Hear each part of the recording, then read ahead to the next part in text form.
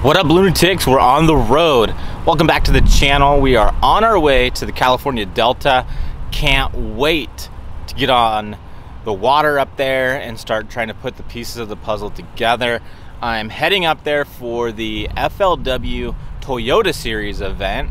Um, super pumped to go up there. Uh, one of my sponsors, GCI Outdoors, is sponsoring this event and I'm super excited to be up there representing them and as always I'm representing all of my other sponsors as well but they chose this event out of the list of tournaments that were available this year and said we want to sponsor your Delta event. So here we are. Um, I'm a, probably like halfway there. I just got lunch at Jack in the Box and something kind of funny happened to me at Jack in the Box. So we're in the height of COVID stuff right now and I'm driving through California and California, some of the dining rooms are closed on places, but you can still go in and order takeout. Well, I was walking up, and one of the workers is out there, and they're like, "Hey, sir, the uh, the dining room's closed, but you can go through the drive-through." And I'm like, "Well, I have the boat. I can't drive through the drive-through with the boat because it's too tight." She's like, "No, no, no. You can walk through." So I literally just walked through the drive-through at Jack in the Box. I went up to the window, ordered ordered my food, and then they gave it to me it was the weirdest thing. I literally walked through the drive-through in order to get my lunch today. But enough about that. But I just wanted to share that. That was kind of a trippy situation. Make sure to comment if that's ever happened to you. If you've ever actually walked through the drive-through to get your food. Um, if you're new to my channel, make sure to subscribe and let me know that you're new and you subscribed in the comments. And um, I hope you like today's video. And if you do, give it a thumbs up. If you've been liking some of my other content, give it a thumbs up as well. But um, let's get into it. We're going to be driving up to the Delta today. I'll be checking with you, checking in with you guys periodically as we're driving. And uh, yeah, let's get on the road. Let's go.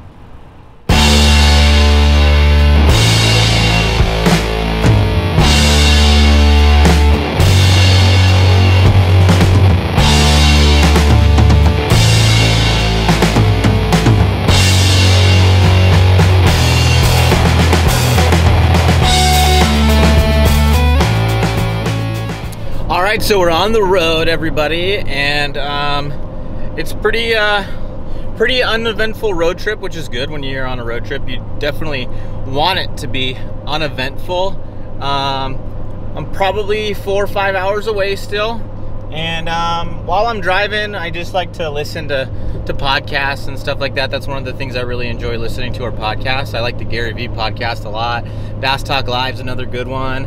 Um, I like the Ike Live podcast, the uh, Luke Dunkin podcast. Those are all some of my favorites, and uh, those are those are the, what I like to listen to on the road. I'm trying to look at something on my phone, talk to you guys, and drive all at the same time, and uh, makes it a little bit difficult, but we'll get through it. So the Delta is a gigantic fishery, and uh, I, I literally downloaded the uh, LakeMaster map for my Humminbird unit the other day, and it said it's 95,000 acres, and uh, the place is just gigantic, and uh, there's no way to break it all down. Um, I don't know exactly where I'm going to start uh, for practice starting tomorrow. Um, I don't know. I don't have areas I like. I have some spots that I like to fish, but nothing that like I can call my home, and I kind of build off of that. Um, so I kind of have a lot of work to do in order to get ready for the tournament and get ready and try to have a game plan. Um, I do know about different baits that that tend tend to do well, um, or at least that catch fish. But I don't have like a milk run that I can just run if I don't find fish. So I really have to put the work in. I really have to find fish in practice, and um, Luckily, I have a few days of practice to put everything together. Um, in the past, when I've come up here, I've only had two days of practice because that's all we were allowed for that tournament format. And um, I'd come up here, I'd have two days of practice. You'd have a minimum of two days um, of the tournament. The top 10 made day three, and um, that's all we had. So I literally had um, one, two, four, five, six, seven, so I had four and four, so I had eight days of practice, eight days total of practice and tournament, and then I stayed one extra day, one trip. So I have a total of nine days of practice. I think if you follow all my videos, I said a different number, and I was wrong in that video. But I have been on the Delta a total of nine days, And um, even with nine days of experience on here, you can nowhere near cover everything or even probably remember how to get everywhere. So I'm relying on my mapping, relying on practice to uh, try to put something together. And in my previous experience out in the Delta, I've also only fished it in April, which is kind of the tail end of the spawn up there. And um, I've never fished there in the summertime. Uh, I have no idea what to expect. I've heard they, they've been spraying the grass like crazy, um, which they do that to kill the grass so that way all the marinas and stuff aren't choked out with grass. But when they end up doing that, it definitely hurts the fishing. Um, so you want to stay away from those areas generally. And um, we're just going to have to kind of play it by ear. I'm, I'm hoping that I can put a pattern together. Um, I've heard it's been tough up here, but that was from a couple weeks ago. So I don't know if it's still tough, if it's picked up, if it's gotten tougher anything like that. So I'm just I'm just going fishing, guys. I don't really know exactly what to expect. I'm gonna have you know the typical Delta stuff on there. I'll have a crankbait on. I'll have a spinner bait on. I'll have a frog. I'll have a punching setup. I'll have a drop shot too. I'll have a Senko. I'll have a bunch of different stuff at the ready. I kind of feel like I'll probably be doing a lot of junk fishing. Um, I like to throw a crankbait up here when I can, um, but we'll see if they're eating it. Maybe they aren't eating it. Um, maybe they're eating a frog, maybe they're eating a buzz bait, you never know. But thankfully I got practice to try to put some stuff together. Um, but a lot of times red does well up here, but I don't know if that's just like a, a spawn, pre-spawn type deal or if it's red all year long. Um, I've heard the watercolor's pretty clear, so that might lend itself to more real life type colors rather than those reds that are fairly common up here. But, you know, I'm gonna try some red crankbaits I got, you know, green pumpkin, red, plastic, stuff like that that um, I bought specifically for this trip. And then I have a few different crankbaits that I definitely want to put to use out here. I got the 6th Sense Swank, which is one you don't hear about very often, but it's supposed to be awesome on grass, and that's what you're fishing a lot of up here at the Delta. I mean, grass literally lines almost that entire entire fishery. There's docks, there's tules, there's mats, there's there's every everything you can think of, and the entire place looks fishy. Um, even where there's no not a ton of grass or not a ton of tules, it's riprap. And as as you know, if you're a bass fisherman, riprap's a great place to get bit. So literally, this entire place looks fishy. It's shallow pretty much everywhere. Some of the deeper channels and some of the bigger river areas have a little bit of depth to them, but you're pretty much doing some shallow water fishing out here at the Delta. And something else in some of my past tournaments that um, I want to get away from is having a lot of preconceived notions about how I think the bite's going to be, what baits I think are going to do the best. Um, I don't think that's a good thing for me to try to get into. I think I need to just kind of fish the moment a little bit more, as and would say, and really just try to figure out what's going on right now. Not try to fish history, not try to fish what somebody did in a previous tournament, uh, not fish necessarily what I've done in the past. Um, there's definitely areas that I want to go back to. I have a couple spots that I that I really like that I really feel like I can go back and there's probably going to be fish on them just because they're just good areas. They got a lot of current. They got some current breaks. And um, there's probably a ton of areas like that on the Delta, but I just don't know where they are. I mean, this place is huge. So, you know, that's part of the, the hard part for a guy like me coming up from Southern California and fishing against a lot of these locals up here is that I don't know where everything is, and a lot of these guys do. So they might be able to get less bites in practice, but be able to put a better pattern together because they can replicate the bites that they did get. So for me, you know, I am looking for bites, but I'm also looking for above average bites because if you really want to do well, you got to have the above average fish because if you come in with, you know, what everybody else is catching, you're not going to be up in the standing. So I need to find bites in order to get on a pattern, but then I also need to figure out how to catch bigger fish. Maybe that's punching, maybe that's topwater, maybe it's it's something else, but it's definitely something that I have to try to figure out. All right, well, we just stopped. I uh, had to stop to use the bathroom real quick. Um, we're probably a couple hours out from getting up to where I'm staying at, and uh, so far the drive's been going okay. Made a few phone calls along the way, and uh, there's something in the bed of the truck that I'm going to show you guys that I think is uh, going to be a really important part of this trip. Not for the fishing or anything like that, but just for the the comfortability that we're going to be doing camping because I'm staying with a buddy in his camping trailer at one of the marinas out here, and um, there's some stuff in the back of the truck that um, are really important to this trip and really important to my ability to continue fishing these events and I'm going to show you guys right now. So what that stuff is is the fire pit rocker, slim fold cook station and the three position director's chair with the ottoman, ottoman by GCI Outdoors. Uh, we got a Traeger coming for this trip and uh, I know that the slim fold table, the cook station, it's a table. It's gonna be perfect for the Traeger. Um, and then those chairs are gonna be great to just have out um, when we're done fishing, had a long day on the water, just being able to get out there, get comfortable. And um, guys, if you need chairs or any tables like for camping or out on the beach or whatever, make sure to check out the GCI stuff. Um, it's super good quality. Um, you can use my code MLF15. It's gonna save you some money off of your purchase. And if you buy online on their website, it's always free shipping, so you can't beat that. And um, you know, without them, I wouldn't be going on this trip, and it'd be make it would make my tournament fishing and my aspirations to fish professionally a lot more difficult because they are one of my biggest supporters.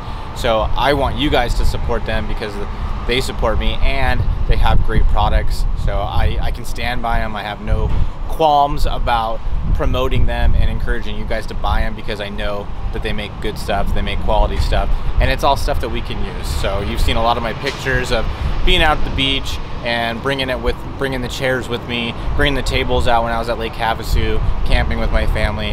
Um, you can just have them around the backyard when you're watching your kids or, or whatever. Great products, make sure to check them out, and uh, we got to get back on the road.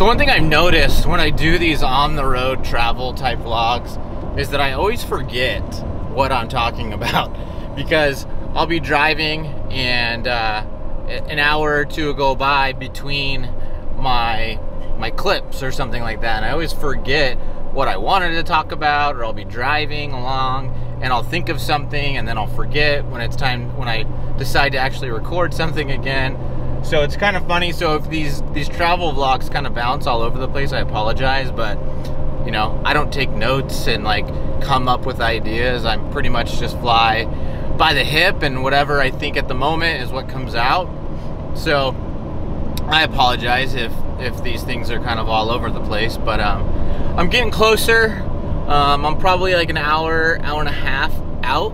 Um, I'm ready to get there. I'm kind of over driving ready to get kind of settled in and, and get some, maybe some tackle rigged up for tomorrow morning, get the stuff put in the trailer, get the linens and everything on the bed, all that kind of stuff squared away. And um, I literally think I just, I forgot towels. That's something that I just realized I forgot as, as I'm talking to you guys. I literally just was in mid-sentence and realized that I forgot to bring towels for a shower and stuff like that. So have to pick some of those up now, but if if towels are the only thing that I forgot, not that not that major. Um, one thing I want to talk about is um, if you notice these glasses that I'm wearing, if you haven't heard of Waterland sunglasses, I highly encourage you guys to check them out. Um, I've been wearing them for months now, and I, not one month, but multiple months, um, and I really, really like them. The polarization's really good, and, and one thing that I think that um, people haven't really put together when it comes to sunglasses and some of this the fishing brands in particular is that just like when you have a picture and you have like a filter in that picture and it brings out different colors or if you're editing a picture and you change the contrast and certain colors come to life and other ones don't that's what these fishing specific sunglass brands do with their lenses. So there's literally like filters on these glasses in addition to the polarization. So not only are you getting the reduced glare, being able to see in the water, but these sunglasses are designed to pull out the reds or pull out the greens or the blues or whatever depending on the different lenses that you pick and that's why there's multiple lens colors and that's why you get different types of pictures depending on what lens you get where one one might be more to cut the glare down another one might be higher contrast so that's why there's multiple lenses out and when you go to look at getting a pair of waterland sunglasses try to look at the different lenses and pick the one that's going to be most appropriate for your typical conditions. Now, obviously, you could get all the different lens colors and have options for different conditions and stuff like that. But I know most people, you know, they don't have the money or they're not willing to spend the money to, you know, put up you know that kind of money to just get a bunch of pairs of sunglasses. So at least start with the one that's going to make the most sense for your fishing and the conditions that you fish in the most. But um, if you want to get a pair i really really like um, the waterland sunglasses. Um, the ones i wear on the water are called the Ashor that's the the, the, the type that i that i wear on the water they're the Ashor ones and then the ones that i wear right now are the hybros those are the ones that i wear um, most often when I am uh, just day to day and stuff like that. And uh, there's an interchange coming up, and I don't know which one to take because I'm talking to you guys. So hopefully I chose right. I don't know. I might not have, so I might have delayed myself, but oh well, we'll figure it out. But if you're looking to get a pair of sunglasses, definitely check out the Waterland sunglasses. The website's waterlandco.com and use my code LUNA10. It's to save you some money on those glasses and it really shows um, your support not only for that brand but also for me getting my content out to you and letting you know about Waterland so anytime you have somebody that you follow or you want to support make sure to use their discount codes because that's a direct reflection of of their ability to get in front of you and that they have people that want to support them so again that's waterlandco.com use the code luna10 and uh, get yourself a pair of sunglasses. I think you're going to really be happy with them. buddy of mine I went fishing with not too long ago, put them on. Um, I had an extra pair in the boat and he put them on and right away he was like, wow, this is way different than the sunglasses I had on.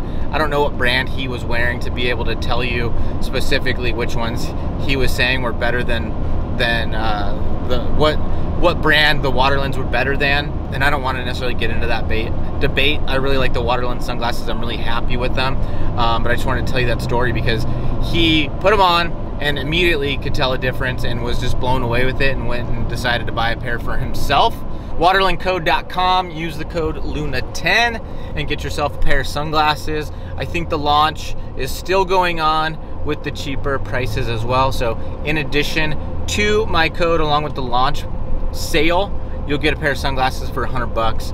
Um, great deal on those sunglasses. Normally they're gonna retail for 150 thereabouts. So go check them out. I'm really liking them. And uh, I got some more driving to do. So I'll talk to you guys later.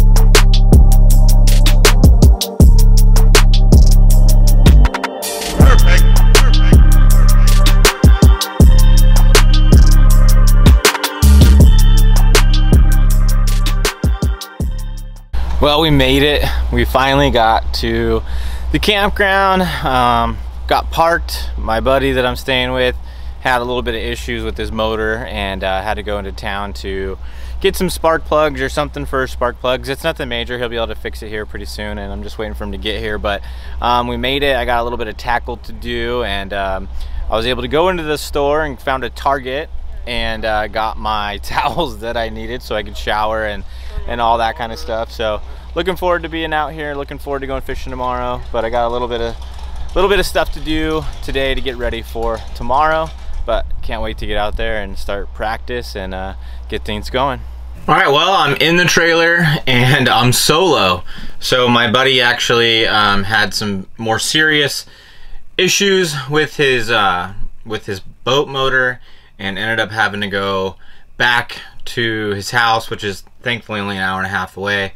But um, it was late enough in the afternoon that he was going to end up having to uh, uh, stay the night there. He's switching to another boat. He's got to take all the tackle out of his boat, put it in the one that he's going to borrow to uh, get through the tournament. So I'm just chilling in the uh, trailer by myself right now.